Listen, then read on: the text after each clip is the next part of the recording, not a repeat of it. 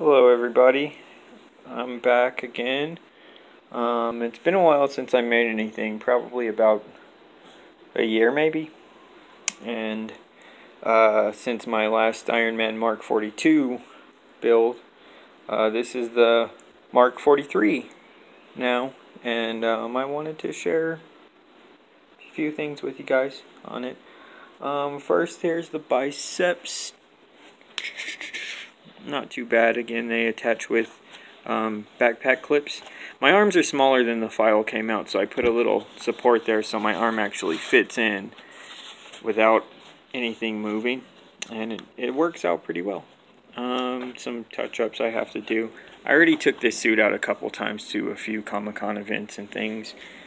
Uh, the helmet here is foam also.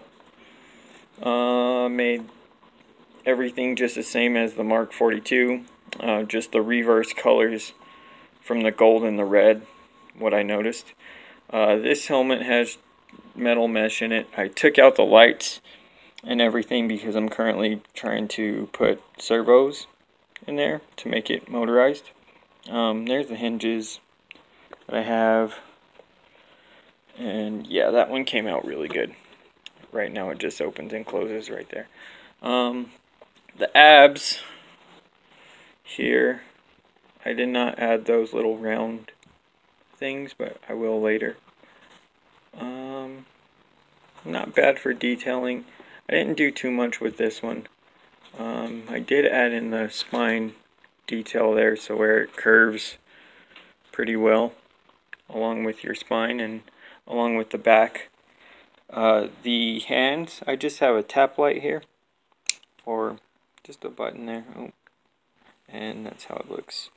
But um after I like a while after a while I took these out or I'm taking them out and I'm adding in new lights because I I didn't like how those ones came out. But anyway the fingers are foam so that I can move and bend and everything grab people if I need to. Um here's the forearms or the gauntlets, they attach to the, the biceps there. Yeah. And I added in this little detail. It's like a computer circuit board thing. From a distance, it looks pretty cool, I think. Um, and then the boots here, just foam over my shoes. I put my Jordans in there. Comfort. Uh, the, let's see here, the chest. There's the neck here, um, Velcro attached on the side. Um, I didn't have a lot of tools before like I do now, so the dremeling I added in these little details, screw details. Uh, the reactor here is just a tap light. I literally just tap it, and I had the arc reactor template pretty much just pasted over that. So you tap it on and tap it off. Um, the let's see the shoulders here again attached to backpack clips, and I like the whole backpack clip system because it's just really great for mobility for me. Um, I'm a smaller guy, so I don't know if that's like any different compared to people that are bigger than I am. I don't know, but yeah, it just works for me. Uh, anyway, that's how that looks. Here's the back, the shoulder. Um, these little inseams here are pretty great. Uh, this is where, again, Velcro and you can open it to get inside. Um, the back I did was, I think is really good. I like it a lot compared to the Mark 42. A lot more detailed. Um, this one came out great, I think. Yeah, more detail. Uh, there's the hole back there. And again, the neck piece. I didn't show you guys when it's outside, but you get the idea. And um, with the cod here, um, I did add in the backpack clips here and here so that I can sit down in the suit. I understand on a lot of like the cosplays you can't really sit down in and it's a pain like over time you just get exhausted. So I, I made it to where you can sit down.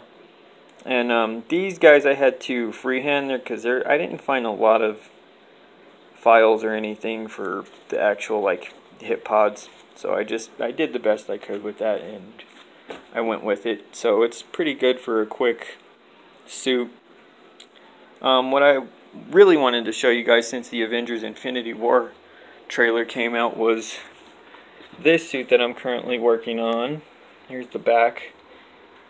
And this is the uh, Mark 48 suit from Infinity War. Here's the helmet there. Um, I just finished the biceps not too long ago. Uh, here's the side details. Um, it's not done yet, so I have to finish some parts. Uh, reactor, some details on the chest and the shoulders there. Um, the helmet, I like the faceplate comes off too. Uh, just metal mesh in there and yeah, magnets to keep it all together and attached. And one more quick look at the back again. I'm still working on it, so it's going to be a little bit, but this is what I have done so far. I can't wait for this one. Um, the person that did the files did great. Uh, he's the same person that did the helmet files as well, so really, really excited for this one. Anyway, uh, there's a few more projects that I have or working on. Yeah. Anyway, that's it. I just wanted to show you guys. Um, happy holidays, Merry Christmas, um, and I will see you later. Bye. There's Bentley.